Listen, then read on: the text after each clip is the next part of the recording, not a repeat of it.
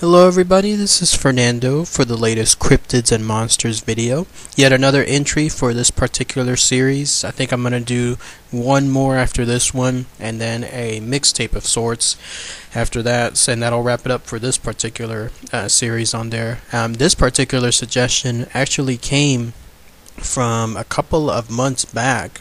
So again, it goes to show with regards to anything involving your suggestions, if I don't come across it right away and I don't do it right away, I do look back afterward and I try to see if um, I missed particularly anything that stood out. And when I do then I talk about it later on on here. So again just because you don't see it covered now um, there's a very good chance that you'll be seeing it sometime later on on there.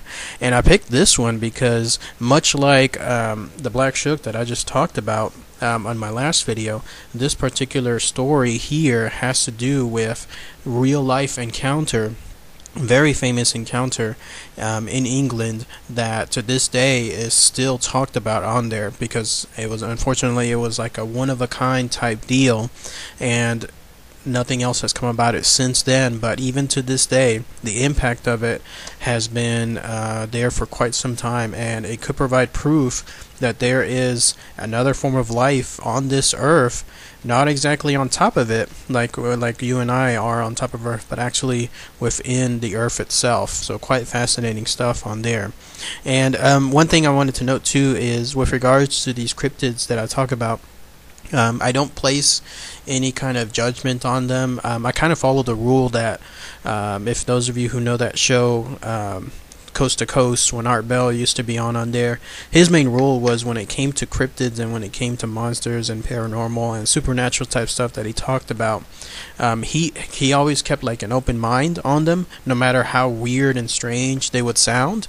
He, uh, because in his case, um, he he was completely unbiased. He just always kept an open mind and allowed whoever was talking about um, the particular subject at that time, no matter how strange the conversation got or how, in some cases, ridiculous the conversation got, he always allowed it to go unchecked because he was impartial to it. Um, in his in his case, something that could be considered weird and strange to one person uh, could be considered ridiculous to another one and vice versa and so that's the way I do these videos here is anybody that suggests something on there I just go in with an impartial mind and I just pre create the facts on there and it's up to everyone else to determine uh, whether the stuff that's being talked about is real or was real or could be real along those lines even no matter how fantastical some of the stuff sounds it's there for your uh, for your viewing pleasure. So it's yours to decide at that point whether something is completely out of the world type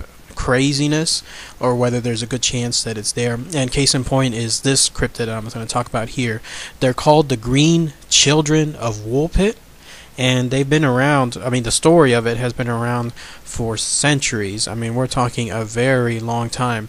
But again, this, this particular instance only happened once. And you would have to go back in time to the mid 1100s. So that's to give you an idea, almost a thousand years in the past in order to uh, get a good idea of what this particular tale entails on there.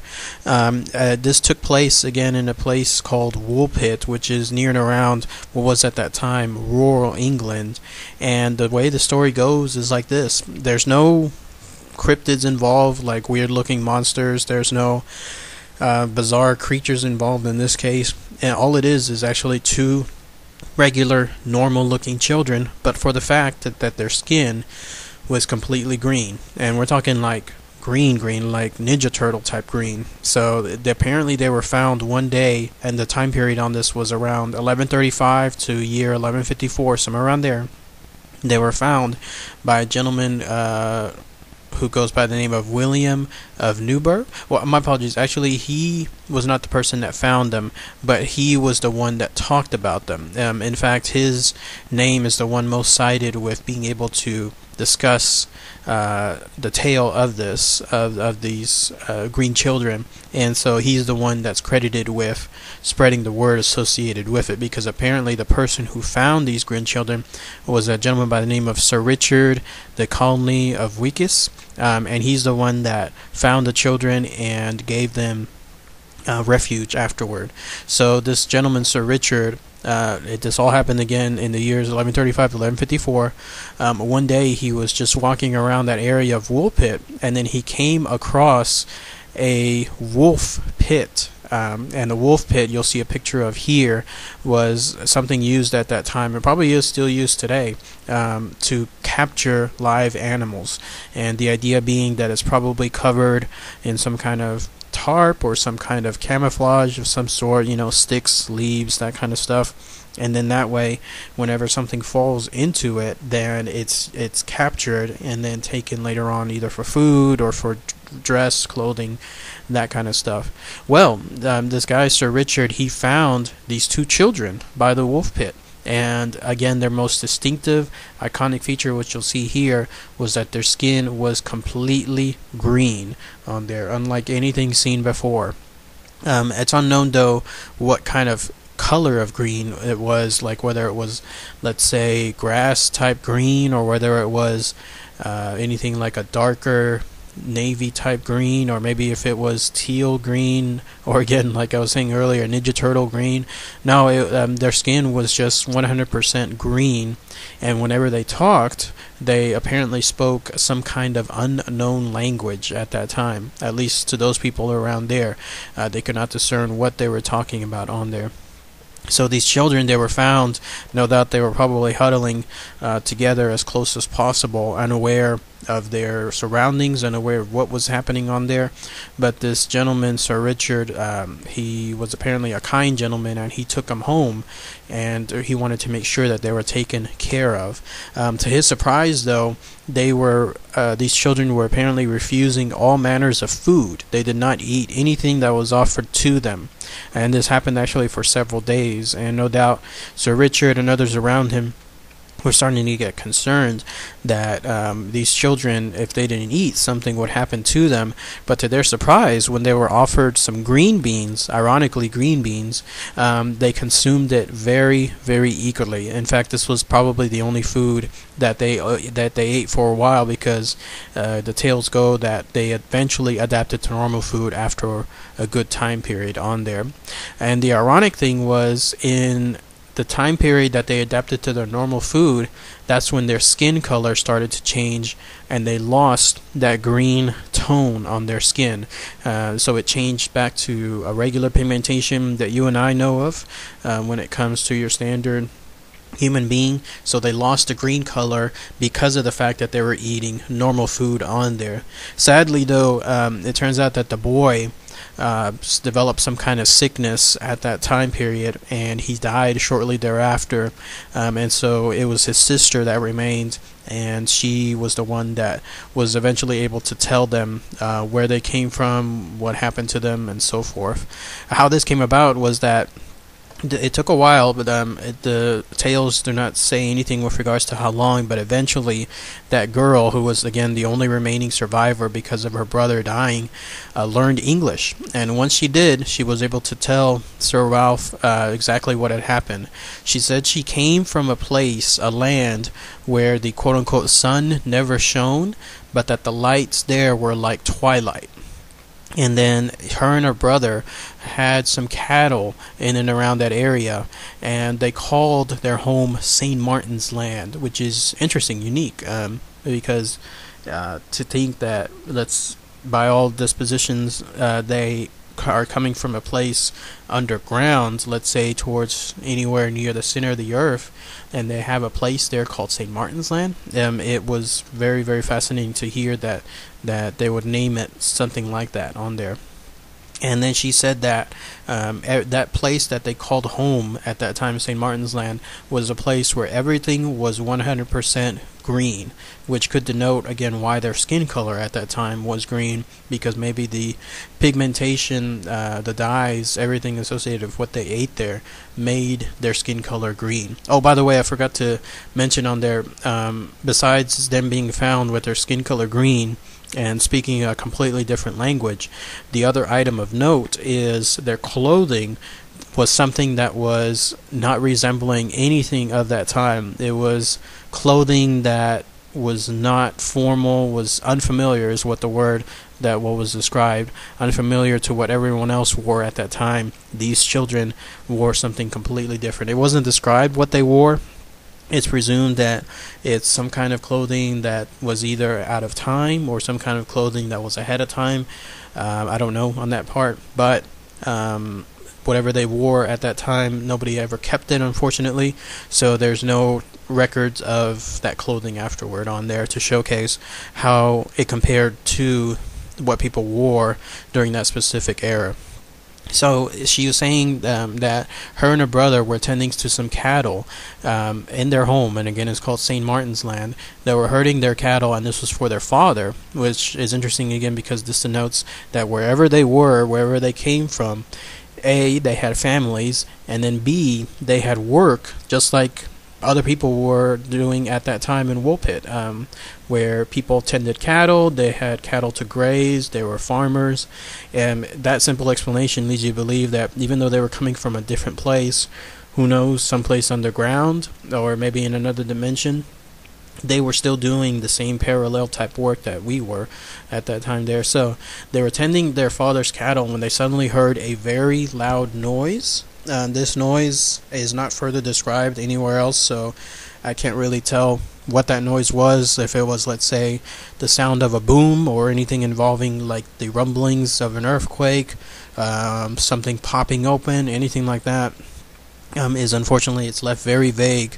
But the gentleman again that writes about this, the guy William of Newburgh, he's the one that says and presumes that it's actually the bells of a place called Bury St. Edmunds. Well, once the children heard this loud noise, they suddenly woke up and found themselves unaware completely of their surroundings, and suddenly they found themselves by the wolf pit where they were later found on there. so somewhere along the ways, um, they were tending that cattle. Some loud noise occurred, some loud, unusual, strange noise to them. Uh, they were, for better, for lack of a better word, teleported suddenly to our place here on Earth, and that's when they found themselves by the wolf pit, where they were found by that gentleman, uh, Sir Ralph, on there. But yeah, um, once they were found, then the rest of the story goes that that they were lost and they tried to discern their surroundings, but they stayed there after all. And then that's when um, the rest of the story goes that the up to the present uh, there at that time. What's interesting too is that the girl uh, eventually led a normal life. Um, whatever this uh, wherever this girl came from, whatever she might be, she actually led a normal life. Although she was described many years thereafter of being uh, quote unquote very wanton and impudent. So there goes, um, you know, a brief description of her lifestyle and her attitudes and her actions. Um, afterward, too, uh, she eventually married a man from a place called King's Lynn, which is about 40 miles from their location, and that's it. She left a she pretty much left a normal life thereafter on there. Um, in fact, it was concluded. Uh, the story goes, the one that was being written by that guy William, he said that eventually he tracked down the girl and he was able to discern that the girl eventually was given an English name and she was given the name Agnes. And so the person that she married was a gentleman by the name of Richard Barry. So it goes to show that her last name was probably Barry. So her full name in total after she led and married her normal and she led her normal life was Agnes Barry on there. And then that was it. So again, the only instance known of anybody coming across from whatever that dimension was or wherever that location was were these two green children. And then these two green children, one of them unfortunately died, the boy, but the other one led a normal life, married a gentleman, and then that was it. And there's been no other instance or situation associated with anybody else of that green type color coming over or being discovered. This is strictly just one of a kind. But wow, uh, what a difference, even after almost again a thousand years, the story associated with these green children of Woolpit is still going strong on there.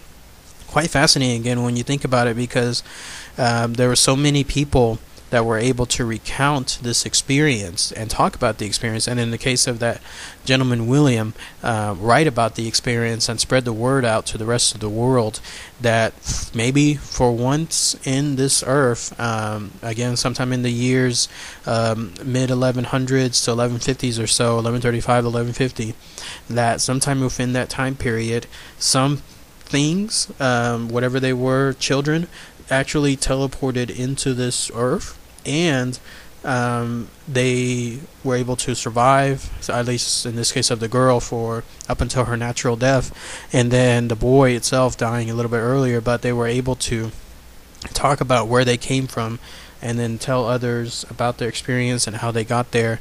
So, in other words, sometime on this earth, we had some beings potentially from another place, another dimension, another location, maybe even from the center of the earth, somewhere like that. And then they were here on Earth, and then that was it. They that's the only time there's ever been that experience.